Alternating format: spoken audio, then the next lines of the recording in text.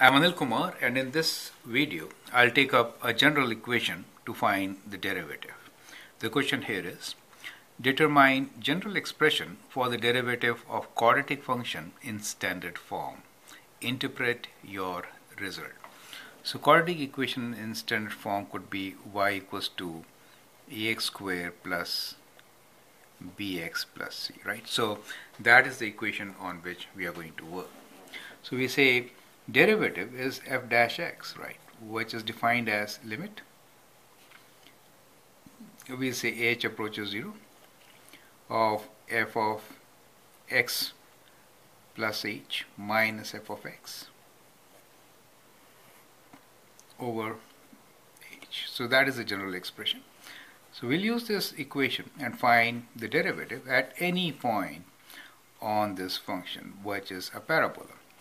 So replacing x with x plus h, what do we get? We get a times x plus h whole square plus b times x plus h plus c minus f of x, that means ax square plus bx plus c. It's a good idea to put all those terms in brackets as I have done, right?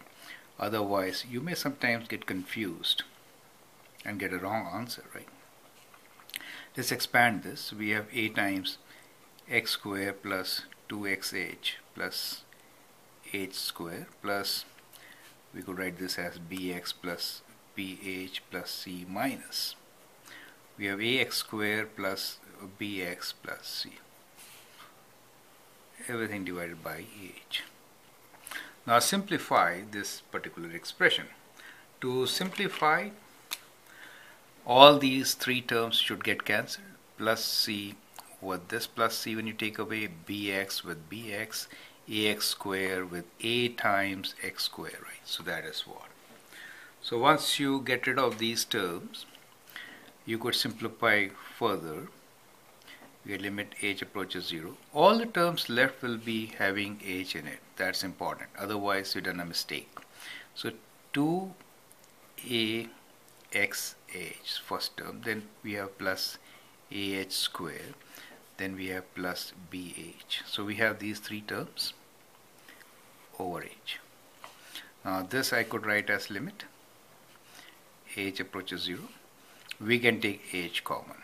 So if I take h common I'm left with 2ax plus ah plus b divided by h. Now we can cancel out h, right? And substitute h equals to 0 to find the derivative. So we get 2ax plus b. So what we really find is that f dash x, let me write it in a different thing, for a quadratic function, so, so what we get here is if f of x is equals to ax square plus bx plus c. F dash x is equals to 2 times c here 2 times ax plus b. Do you see that? As you know the rate of change for a constant is 0 right? For a linear term it is that part b and for a quadratic terms 2 times a. So that is a combination which you always get.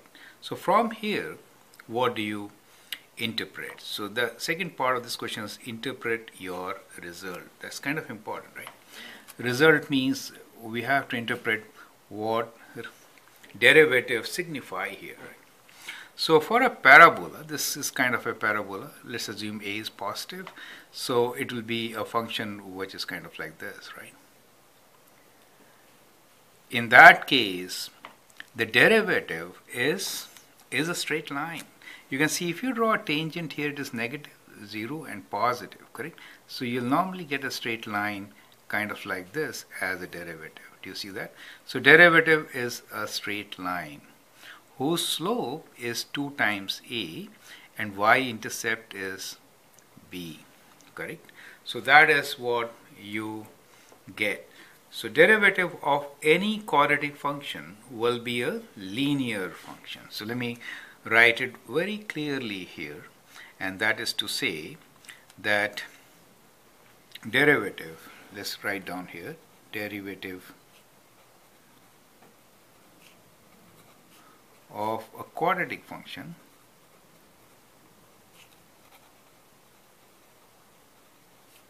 is a linear function right? So so this is very very important to understand. In general any quadratic function its derivative will be a linear function. I hope that's clear right? Thank you and all the best